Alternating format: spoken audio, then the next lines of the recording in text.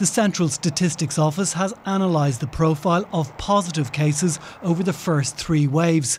Statisticians found that in the first wave, nurses and midwives were more likely to contract COVID 19. In waves two and three, it was sales and retail assistants, cashiers, and checkout operators. In households with a confirmed case, 8% were in overcrowded homes during the third wave, compared to 19% of cases in the first wave.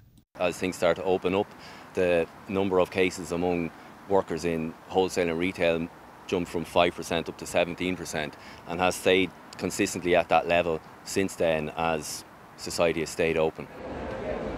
A third shot of the vaccine for immunocompromised people is being administered this weekend. The HSE says there are enough supplies for anyone who is called for an appointment. Hospitals at the moment are identifying people who are eligible. It is really important that people with a weak immune system um, are protected against COVID 19 because they can be at high risk or very high risk of severe illness.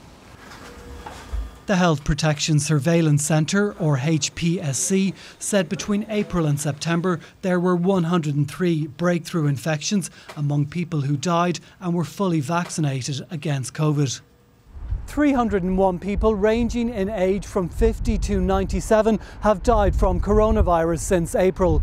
The HPSC report said between April and September there were no COVID 19 deaths among vaccinated people under the age of 50. 70% of people admitted to intensive care in the same period were unvaccinated. Dimitri O'Donnell, RTE News.